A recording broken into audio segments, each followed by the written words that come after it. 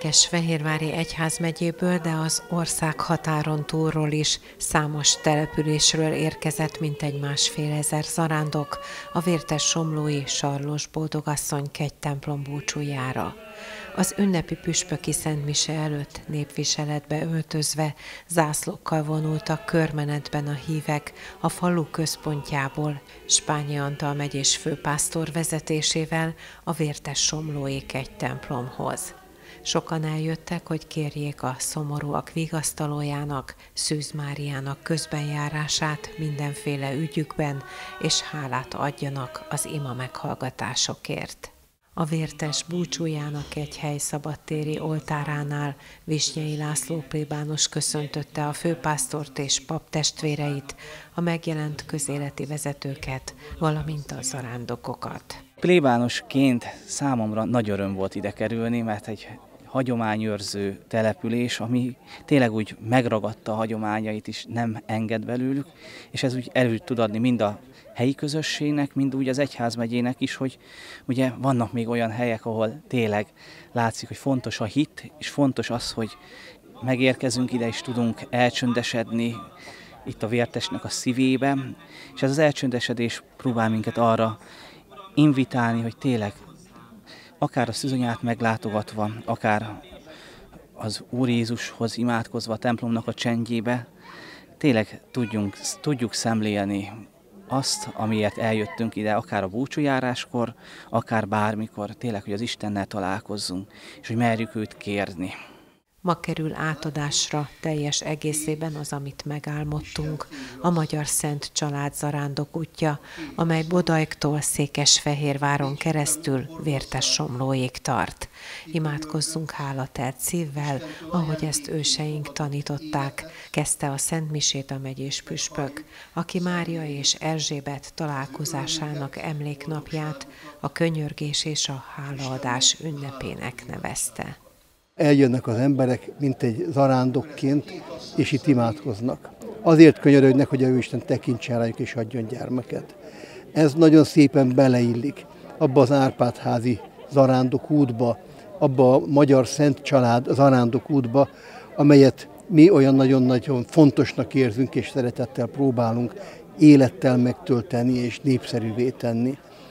Ezt a népszerűségét ennek a helynek mutatja a templomon az a sok-sok szív, amelyet azok a szülők kérnek tőlünk, mit csináltatjuk ezeket, ők kérik, hogy csináltassuk meg, ahol úgy érzik a szülők, hogy kiimádkozták azt a gyereket, akit a Jóisten nekik adott. Szaporodnak ezek a hálaszívek, és nagyon szépen díszítik ennek a templomnak a falait, nem csak mint látványt, hanem elsősorban mint kegyelmi valóságot, megtapasztalt tanúságtételez arról, hogy az Isten szeret bennünket és meghallgatja a mi imáinkat. A Szent Mise után a főpásztor megáldotta a Magyar Szent Család Zarándokút állomásaként a templom udvarában létrehozott Szent Család meseteret, amely összeköti a Bodajki és a Somlói zarándok kegyhelyeket. Majd a megyés püspök megáldotta a templom teljes mértékben restaurálásra került gyönyörű réger orgonáját. 2011-ben Spányi Antal székesfehérvári püspök új küldetést adott a kegyhelynek, az ünnepen áldásban részesít minden gyermeket váró, gyermekért fohászkodó családot. Évek óta járunk ide, és a, a nagyfiunkat Mátra Verebély Szentkúton imádkoztuk ki, őt pedig már, már itt kaptuk ajándékba. A püspök atya áldása és a, ez az arándokhely és a szűzanya közbenjárása tényleg egy, egy áldás. Az elmúlt tíz évben több pozitív visszajelzés is érkezett. Idén a hét ezüst szívvel 40-re emelkedett a kihelyezett hálaszívek száma. Vértes somlóiak vagyunk, úgyhogy így a családunk már régóta részt vesz ezen az eseményen, így hogy Vértes somló egy ismert búcsújáróhely, és hát pár éve létezik, hogy hálaszívet lehet elhelyezni itt a templomban, köszönetet mondva a megszületett gyermekekért, és hát tavaly még állapotosként részesültünk a Püspök úr áldásában, és idén pedig hálásak vagyunk, hogy egészséges gyermekünk született, úgyhogy ezért úgy gondoltuk, hogy szeretnénk mi is elhelyezni számára ezt a hálaszívet itt a Vértessomlói templomban. A Szent Mise végén helyezték el a pusztavámról, tatáról, kisbérről, vértes szőlősről, párkányból és vértes somlóról érkező kisgyermekes családok a hálaszíveket a szépen kialakított üvegtartóba, hogy a templomba betérők is láthassák a kegyhely kegyelmi erejének hatását. Batin Péter barátommal zarándokoltunk egyszer innen.